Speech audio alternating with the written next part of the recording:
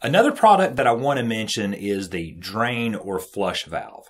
Now we're going to look at a little video and some pictures here of a flush valve that I've put on a zone that we are doing a big project on. And this was a zone of rotors, just your typical um, overhead irrigation for the backyard. And we have installed a section of drip irrigation to that with some hanging baskets and some drippers and pots and so forth. And since we have a cool season grass in this zone, we're going to want to run this irrigation, maybe just this zone through the winter. So here in my area, it does freeze. It gets cold enough to freeze and burst pipes. And for the most part, we're going to be putting this drip irrigation on top of the ground and then just covering it with maybe two inches or so of mulch. So it's definitely in danger of freezing when we run the irrigation and then leave all of the pipes filled up with water. So we want a way for the water to partially drain down out of the zone so you're not leaving a, fully um, charged pipe or a head with water in it that's going to bust open when the temperatures get down below freezing.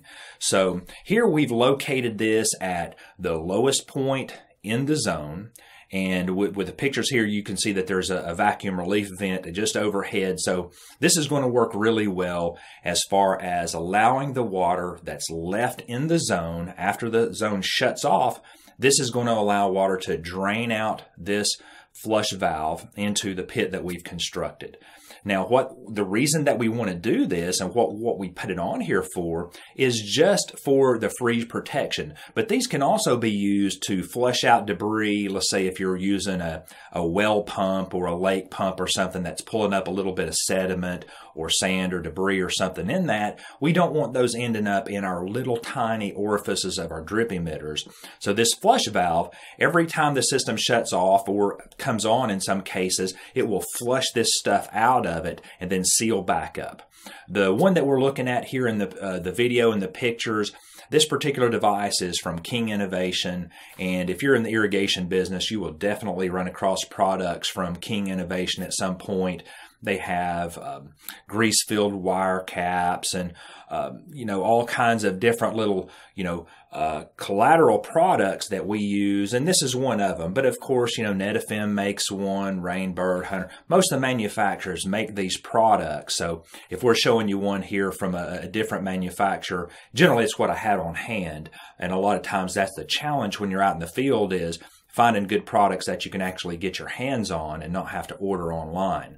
Since the recession, a lot of supply houses now carry a smaller inventory. So you need to identify those parts that you like to use and make sure they're available for you or go ahead and order a bunch of them in so that you have them on hand because sometimes these smaller parts the flush valves, the vacuum relief valves can be hard to get your hands on. Not all suppliers carry those.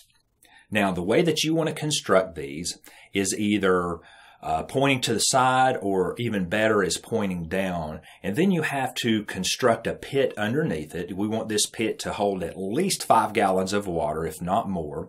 And then when we uh, dig the, the pit up, we're going to fill it up with a, a rough, large drainage rock, which has some pore space or some space between the rocks that'll allow this water to filter down in here and then eventually drain into the surrounding soil. Now, the way I do it is once I get the rock in the hole, you'll see that I like to put a piece of plastic down over top of it, and that keeps rainwater or irrigation water from filtering or sifting all of the dirt or clay down into that pore space between the rocks in our little pit. So I put a piece of plastic over it and then cover it back over with maybe four to six inches of dirt. And that gives some area for your root zone from your grass to grow back or whatever you've got in the area. And then you have your drain that's happening underneath and that water is draining out a foot or foot and a half down and not causing any problems, any erosion or runoff on the surface.